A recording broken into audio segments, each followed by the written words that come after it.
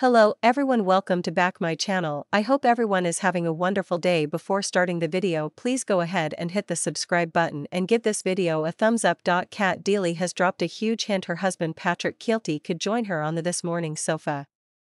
The 47-year-old made her official debut this week after she and Ben Shepherd were named as replacements for Holly Willoughby and Philip Schofield. Cat has been married to fellow presenter Patrick, 53, since 2012 and it seems she has thought about the idea of bringing him onto this morning. During a recent U.S. interview with husband and wife duo Mark Consuelos and Kelly Ripa, Cat said, Everybody was saying, Is he going to do it with you? I was like, No, thank you. Dot. But Kelly, 53, insisted, You should try it. Cat asked, Does it work?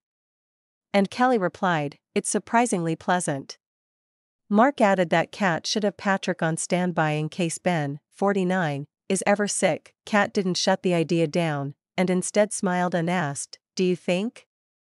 Meanwhile, Cat was forced to apologize this week after making a huge blunder alongside Ben while reading out the number for a phone in. Cat dropped a clanger and missed out a 0.as Ben was quick to correct her, pointing out the number started with 08000 rather than 0800, Cat bizarrely said she had the childline number in her head.